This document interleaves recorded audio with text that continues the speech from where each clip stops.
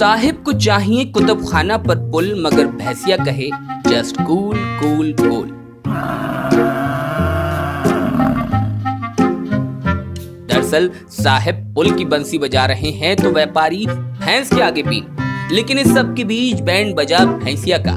शहर वाले तो कुतुब खाना के जाम से हर रोज वाबस्ता होते हैं। इस बार भैये की डेयरी से निकलकर ताज़ा ताज़ा दूध देने वाली भैंस पहुँची कुतुब खाना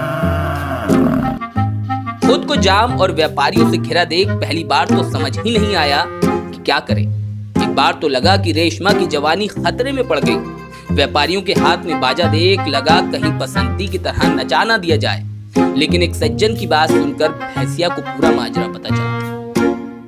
ठीक, अब भैंस के आगे बीन बजाने से शायद कुछ सुनवाई हो जाए। कभी कभार ऐसा होता है ना, सुनवाई नहीं हो रही है। तो शायद कहीं ना कहीं हमारे कमिश्नर साहब को ये सोचने पे मजबूर हो जाए कि ये हाँ परेशान है व्यापारी।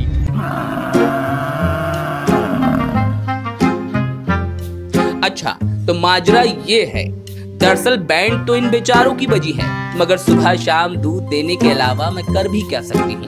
पहली बार भैये ने डेयरी से बाहर निकाला तो कुतब खाना का जाम भी देख लिया। सज्जन की बात सुनी तो लगा दुखों का पहाड़ टूट पड़ा। मगर साहिब कहते हैं, अगली बार कुतब खाना आओगी तो बिना जाम में फंसे पुल से होकर गुजरना। इस बीच किसी ने कान में आकर कहा कि पुल से तो कारें फर्राटा भरेंगी। खैनी रगड़ते साहेब के मातहत फजीहत न कराएँ, इसके लिए पुल का आइडिया दिया गया। ये सब सुनकर भैंसिया ने कश्माकश भरी नज़रों से भैये की तरफ़ देखा और कहा, भाग भैये, फटे में टांग अड़ाने से अच्छा है, चल खिसक लें।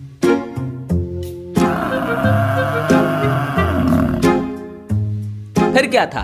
भैये की बाहों में बाहें डाल भैंसिया उड़नछू हो गई। व्यापारियों ने अब साहिब को जगाने के लिए बुद्धू की डेयरी से भैंसिया का इंतज़ाम कराया। भैंसिया बुद्धू की थी, लिहाजा पूरा कोऑपरेट किया।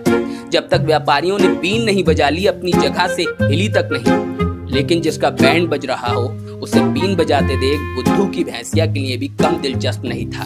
फ़िलहाल कहा यह जा रहा है कि साहिब ने पूरा ऑर्केस्ट्रा तैयार कर लिया है, जिसमें ये गाना बजने वाला है। लागा, चुनरी में दाग छुपाऊं कैसे? लागा, चुनरी में दाग, चुनरी में दाग छुपाऊं कैसे? घर जाऊँ